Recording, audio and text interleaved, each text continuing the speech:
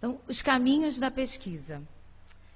Essa pesquisa, ela se iniciou de outra forma. O objetivo não eram as cartas de Ronald Carvalho. O meu interesse era a reunião dos ensaios esparsos e o, pensando esses ensaios no contexto da produção de Ronald. Ela, essa era a primeira fase da pesquisa. Eu pensava analisar esses ensaios e compará-los com os ensaios de Mário de Andrade, percebendo aquilo que poderia os aproximar e aquilo que os distinguia. Tendo isso em vista, eu elaborei um projeto que se intitulava O Clássico do Canto Novo. O Clássico do Canto Novo é uma alusão que Bandeira fez a Ronald Carvalho numa carta que ele trocou com Bandeira. Ah, nessa correspondência entre eles, Bandeira se referiu a Ronald como o clássico do canto novo, e então eu é, achei interessante o título e bem expressivo do que era Ronald Carvalho. Para ler essa, essa, esses ensaios, eu entendi que era importante ler as correspondências dos modernistas brasileiros que cercavam Ronald, como que eles entendiam Ronald. Foi assim que eu percebi que, além do clássico do canto novo, o Ronald também era conhecido como o homem que fazia conferências. Era essa outra alusão que Mário de Andrade é, faz, na, numa, também numa das correspondências, Mário de Andrade se referia a ele dessa maneira. Então era o clássico do canto novo, o homem que fazia conferências. E essas é, duas percepções eram vistas ora de uma maneira muito positiva e ora de uma maneira muito negativa. Nem sempre ser o clássico do canto novo era bem visto, apesar da sonoridade da expressão.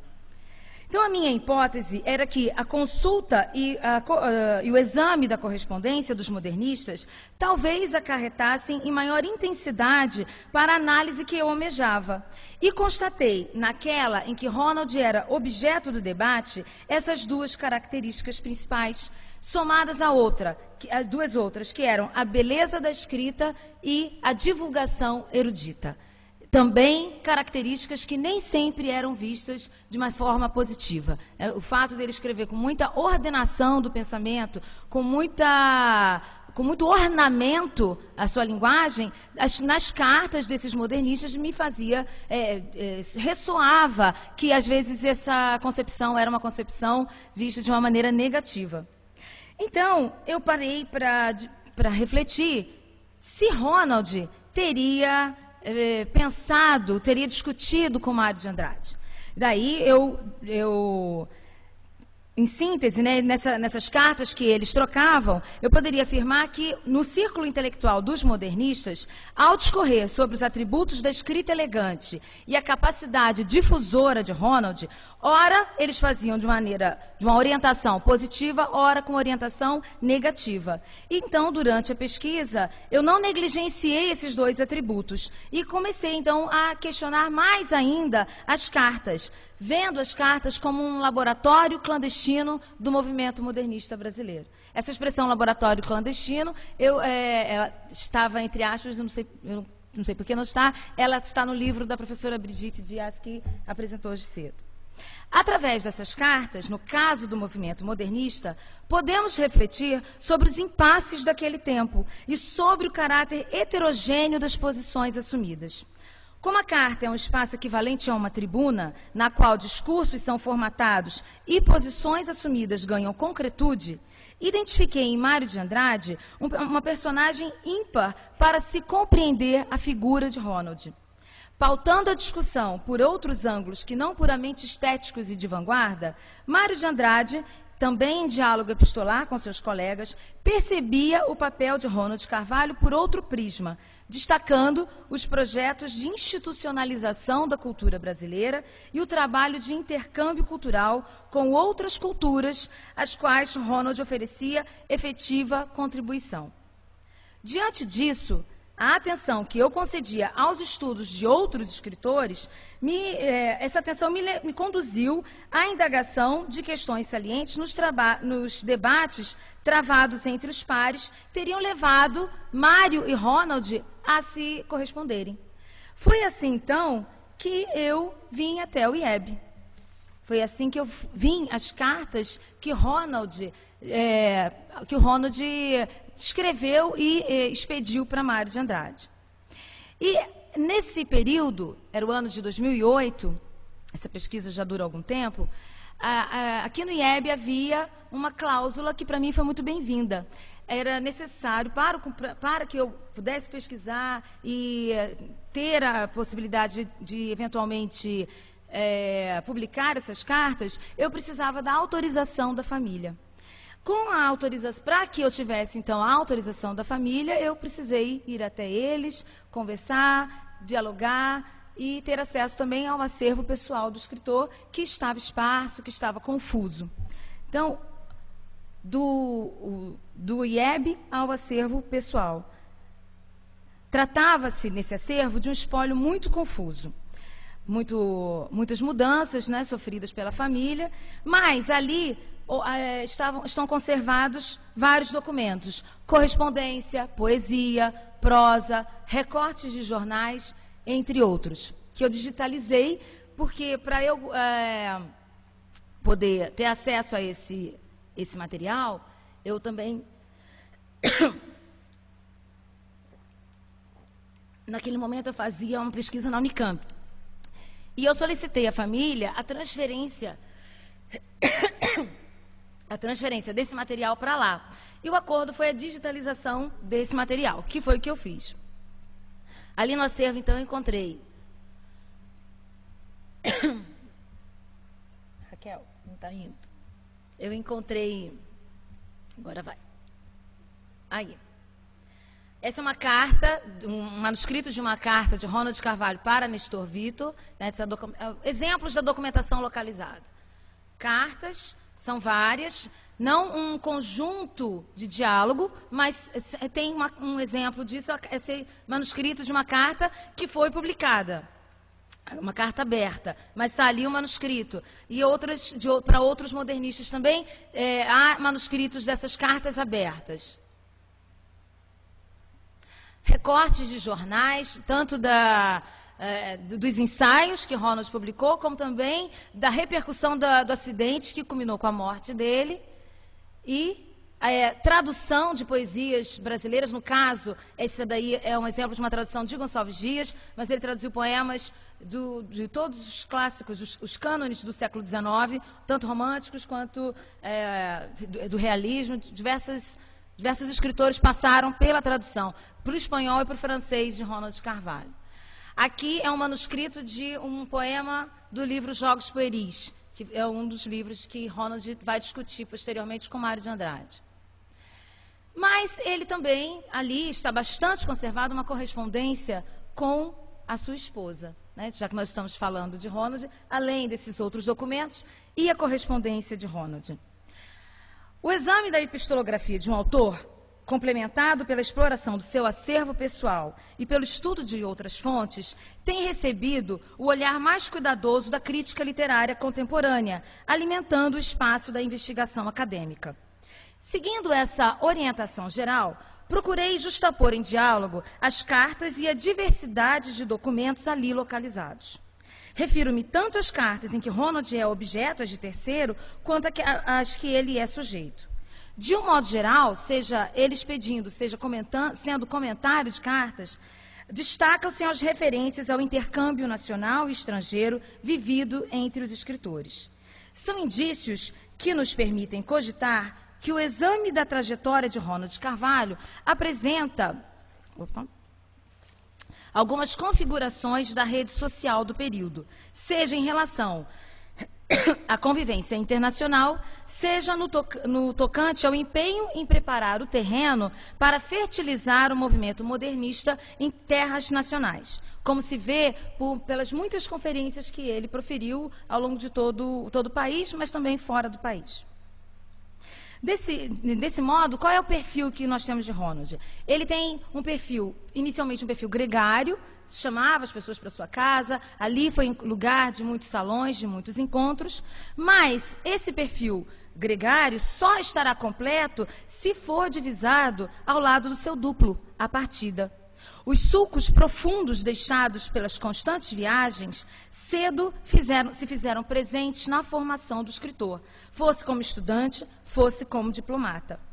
Assim, com essa constatação, aquele projeto inicialmente, o clássico do Canto Novo, se desdobrou e eu é, formulei outro projeto chamado de Malas Prontas, a viagem e o modernismo em Ronald Carvalho, que está aqui em andamento. E é, essa, esse projeto é, visa perceber as cartas que, que, que ele teve que proferir em razão da sua profissão. Ele era diplomata e vivia em viagem constante. Essas viagens fizeram de Ronald um marido epistolar. É, eu chamei Ronald de marido epistolar porque no seu acervo pessoal estão conservadas muitas das cartas que ele trocou enquanto ele estava em viagem, fosse nas conferências de, por, pelo movimento modernista, fosse em exercício do seu papel de diplomata. Ali temos cartas de Paris, e aqui, vamos ver, durante a semana de 22, em que ele manda uma correspondência para sua esposa, falando da sensação que ele tinha da cidade de São Paulo. Como a cidade de São Paulo ficou impressa sua, no seu sentimento. E eu vou ler aqui para vocês. Tenho andado numa roda viva, visitas, ensaios, preparativos para a festa, o diabo. O nosso graça tem sido de uma fraternal amabilidade. Ainda não me deixou. Já me apresentou aos milionários da terra. A julgar pela família Prado, a sociedade paulista é de uma figura parisiense. Gostou do parisiense? Mas sem blague, os Prados são gente muito amável ainda não vi a cidade, senão de relance, através das portinholas dos automóveis. Falta-lhe, porém, uma cócega, uma coisa que me tem feito melancólico: o movimento, o turbilhão sonoro de carros, bondes, carroças, sinos do nosso rio. Lembra-te da nossa cidade há uns 15 anos atrás? Pois bem, em matéria de vida e agitação, esta recorda este tempo. A construção no centro da cidade é mesquinha, com algumas exceções. Em alguns lugares parece que estamos em São Cristóvão. Nada aqui se parece, mesmo de longe, a Copacabana. Tudo é pequeno, tudo está na vizinhança. Essa é uma carta de, de 12 de fevereiro de 1922, em que nós podemos perceber como a paisagem paulistana mudou um pouco. E também mudou em relação à percepção que se tinha. Né? Da, a percepção que Ronald tinha da cidade diferia de alguns dos seus colegas contemporâneos, que só conheciam São Paulo, talvez.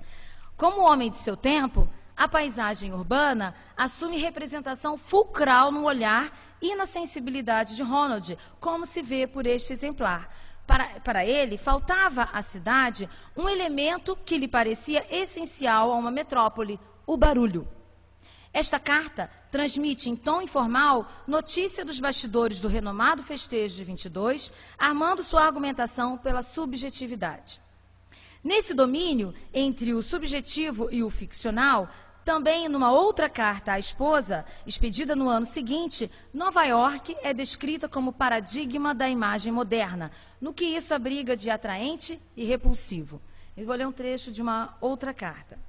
Estou chegando a Nova York. Escrevo-te do alto de um milhão de andares. Entre um barulho infernal de automóveis, aqui há mais de um milhão. Bondes, apitos, buzinas e vozerios. A cidade é realmente uma coisa espantosa, mas dá a impressão que só com rios de ouro pode ela receber-nos receber amavelmente.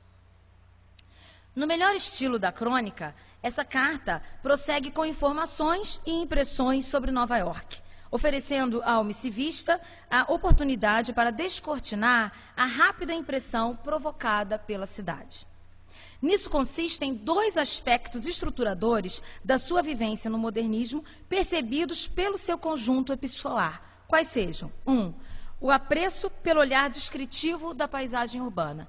Na carta que ele é, expede para a esposa, é, falar dos lugares, comentar a paisagem, era uma constante, como se quisesse torná-la partícipe do que ele estava fazendo. Em segundo, o intercâmbio cultural vivido na, na ordem citadina e no deslocamento, o que levou o poeta a buscar na metrópole a sua experiência moderna. Os dois exemplares referidos deixam entrever o modo como Ronald vivenciou o seu tempo, o que pode ser identificado tanto nos elementos descritos, a impressão causada pelas cidades, quanto nos nomes das personagens envolvidas. É, nesta carta à família Prado, nos seus livros de poema, ele, principalmente toda a América, os títulos são intitulados com nomes de cidade. A cidade se torna para ele um lugar, é, um, espaço de matéria poética. Assim como o, estilo epistolar também nós vamos ver presente nesse livro Tom da América, que é uma forma de desmembramento lírico desse estilo. Falar de suas cartas, principalmente para a esposa, é entrar em contato com as modulações de um cronista, com a simplicidade discursiva e penetrante visão do mundo. Mas e com os demais modernistas? Aqui nós vamos ver a sociabilidade modernista. É, essa, essa fórmula de cronista, essa fórmula de querer contar a cidade, é uma fórmula bem manipulada na sua correspondência com Mário de Andrade, com Ribeiro Couto. A carta a Ribeiro Couto estava em outro arquivo, no arquivo de Monteiro Lobato, mas é, vários, ele se correspondeu com vários escritores. Dentre os modernistas, aqui tem um, um, um conjunto acabado é, naturalmente, a de Mário de Andrade, conservada aqui no IEB, como eu já mencionei.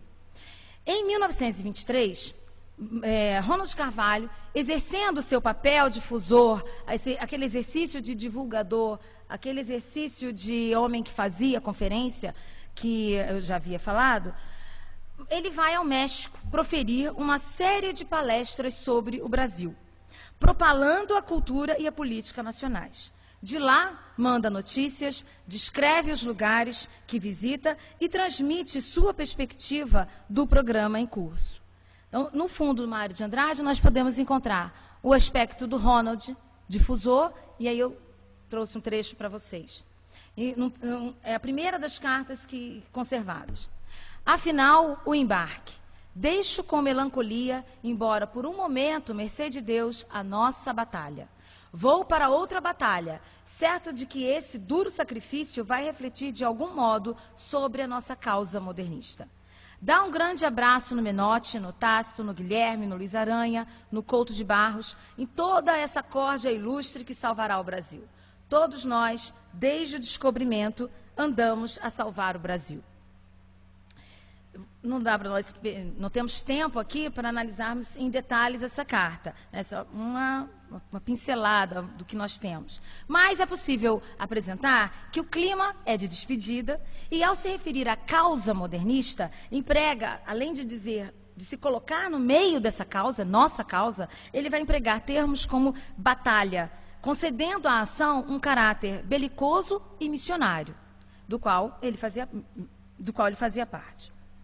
Deixando de lado os elementos mais noticiosos desse exemplar, o fragmento nos permite, ao menos, demarcar a constituição de um grupo, a Corja Ilustre, disposto a sistematizar e a difundir as novidades artísticas, encargo do qual o missivista não se exime.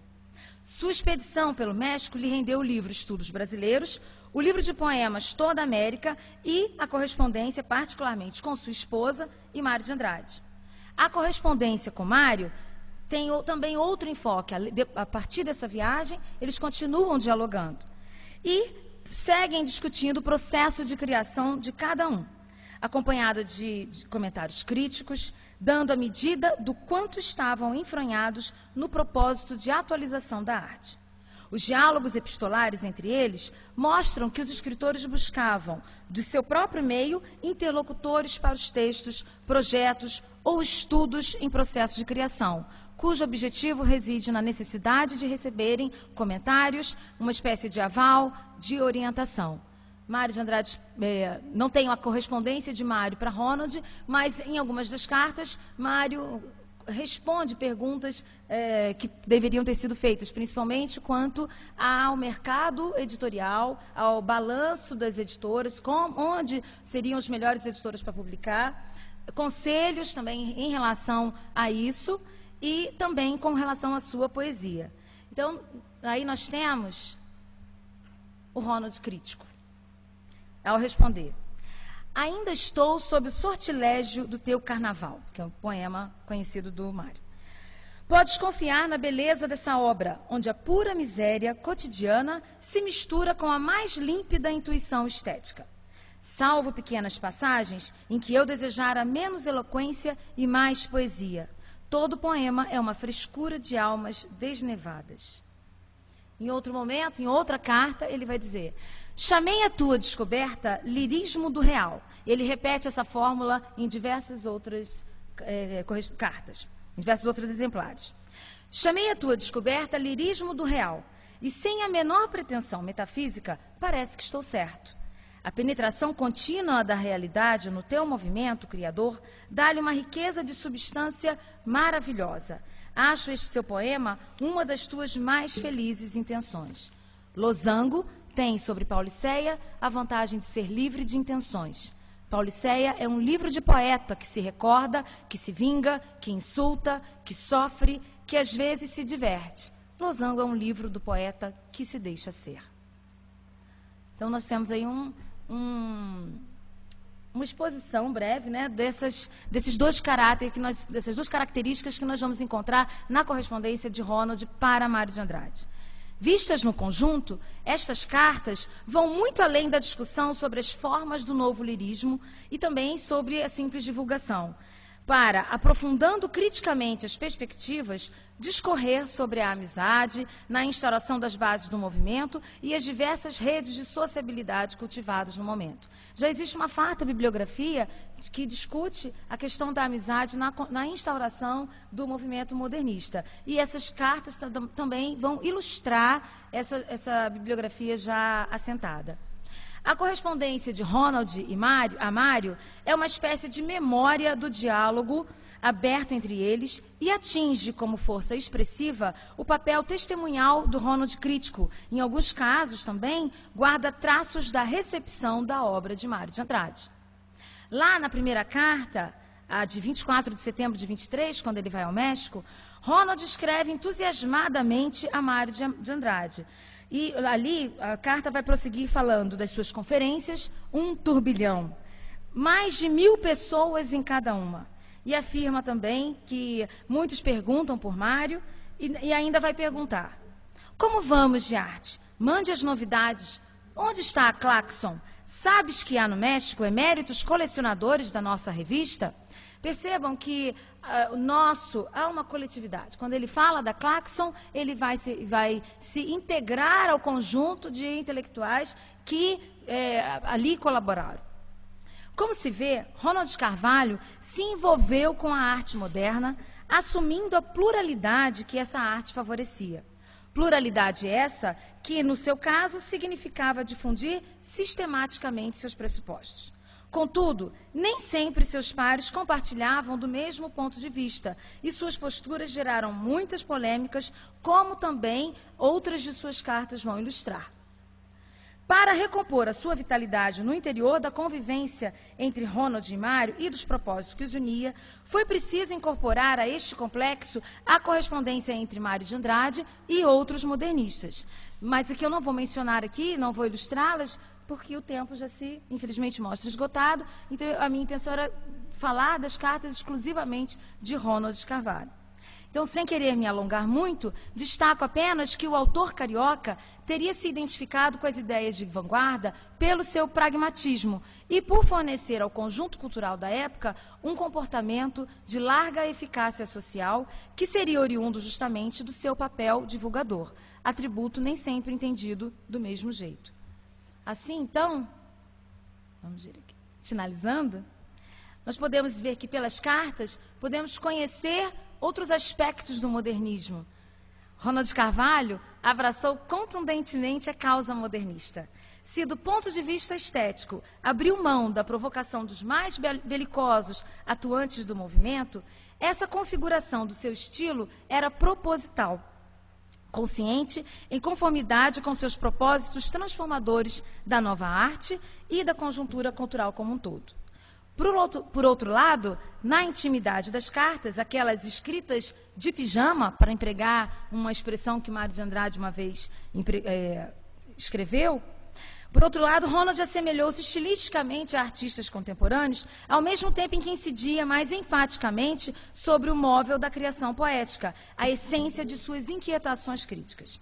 Nesses termos, a leitura direta da correspondência de Ronald enseja ocasião para interpretarmos a crítica sobre, sobre o modernismo, estimula o alcance da pesquisa em acervos e, nos dois contextos, no modernismo e no do acervo, sua correspondência exprime os problemas e os alcances da epistolografia como objeto da crítica contemporânea.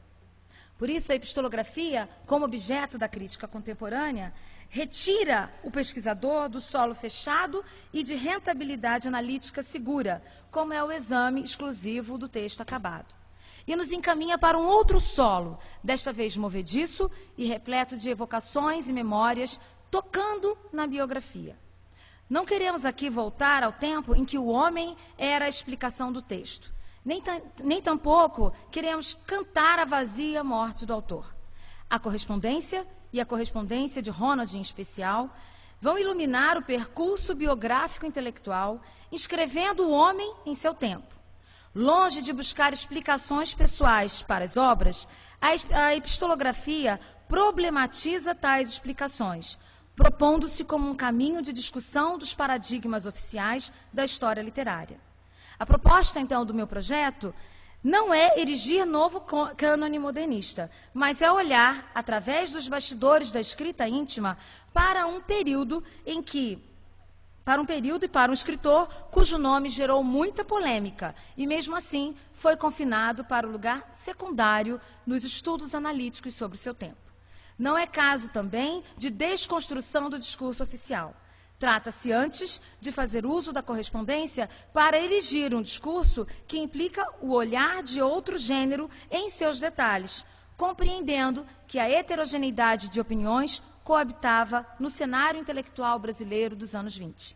O exame de cartas e da carta de Ronald podem, talvez, projetar outras visões, e essa é a proposta dessa pesquisa aqui sumariamente apresentada, e em nome da qual, pela atenção, eu agradeço. Obrigada.